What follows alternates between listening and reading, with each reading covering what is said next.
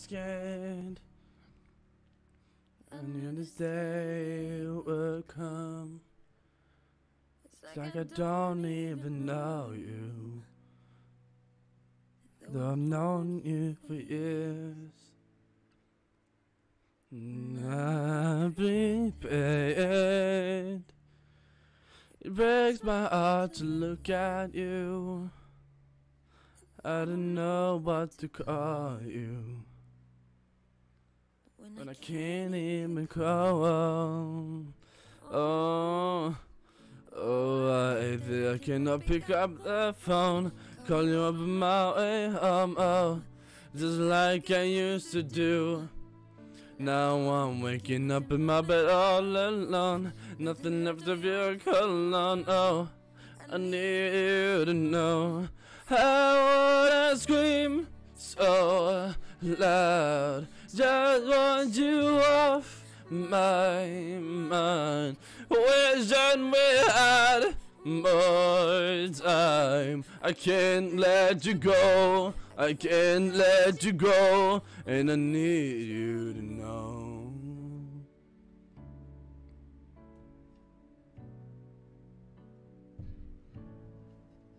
Tell myself when you need somebody else, try my best to be happy. Though I know it will end. Oh, I made it. I cannot pick up the phone. I call you up in my. Oh, just like I used to do. And now I'm waking up in my bed all alone. Nothing left of your cologne. Oh, I need you to know. I wanna scream so loud. Just what you have my mind. Wishing we had more time. I can't let you go. I can't let you go.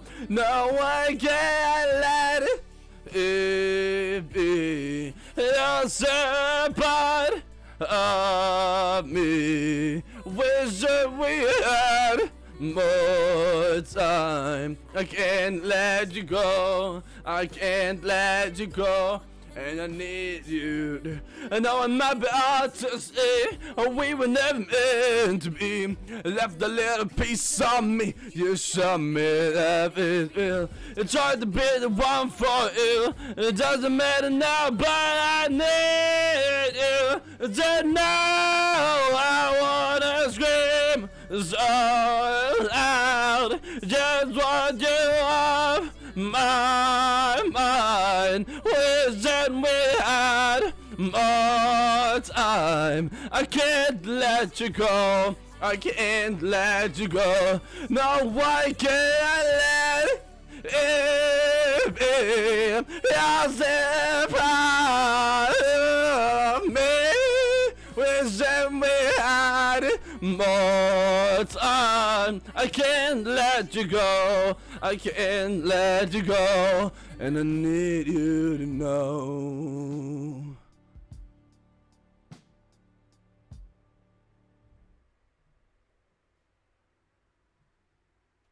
This video is going to be recorded 21st of July, 2021.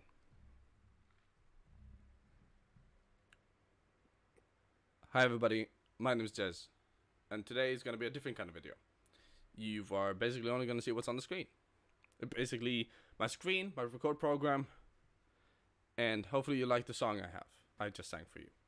It's called Need You to Know, and originally performed by Wiktoria Johansson, a Swedish artist. Go follow her; she's amazing. I'll post a link in the, the description to her, to her both Instagram and Spotify. She's amazing. She's wonderful. But this song is about a breakup. How how hard it feels leaving someone behind. How hard it feels having someone leave you behind. Have someone break up with you or break up with someone that you want them to know that you're still a part of me. I still love you a little bit. And you're always gonna love your ex a little bit. Even if you cheated, even if he killed you okay maybe not. But even if he cheated on you, you're still gonna leave you're still gonna have a little piece of him in you because he is still a part of you. Otherwise, you wouldn't have dated him. Otherwise, you wouldn't have broken up. Everything, eh, bad and good experiences are still yours. But this song, I sang, I sing this for a completely different reason. I sing this song because I want us to not, never ever forget some of the worst terrorist attacks through history. The 2015 in Paris, the truck in 2016 in Nice, France. We have the bombing on both the subway central subway station and and the airport in Brussels in Belgium. The the truck who drove down Drottninggatan, the Queen's Road, here up in Stockholm, in Sweden. We can never forget that. We can never ever forget the bombing in Manchester 2017. Columbine shooting 20, 1999. The 2013 Bus Boston Marathon, where two jihadists blew up two homemade bombs uh, to avenge the war in Afghanistan. 9/11, and then the worst single-handed. It was before this. This is the worst one ever because it was performed by one man who hurt this many and killed this many. That was the 22nd of July in Norway, 2011. Anders Behring Breivik was a psycho and a nationalist. Someone who didn't have empathy for anyone else than himself and his own ideology.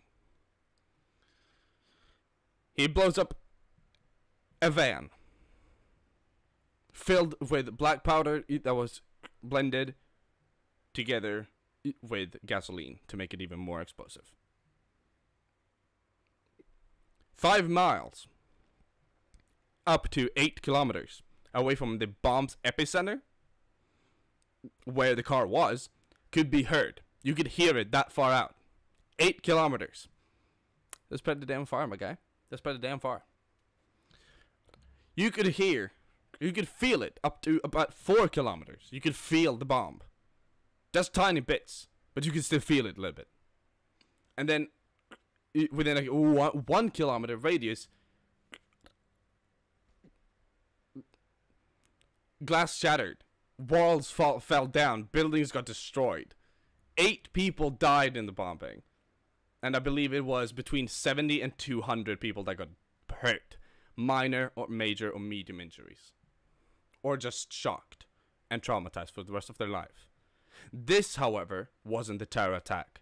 This was a decoy, a distraction for the actual event, for the main course. At, on the local island, Utøya, they were having a youth camp. That was his target. And it is thought and speculated. I'm not gonna go in on those speculations because I don't remember all of them. But he went on with an X number of different guns, pistols and rifles, illegal, of course because it wasn't hunting rifles. He went in by boat, dressed as a poli- dressed as a police officer, and started. He went, shot down two of the leaders, two of the organizers, and then he started to go on a killing spree. He killed everything between eighty to a hundred people of different ages. I say 80 to 100 because different sites, websites states different facts. For an example, Wikipedia says he only killed 77, whilst I believe it was it was a Norwegian Nationals website that said he killed 104. So, I say between 80 and 100. However, most of these were under the age of 18.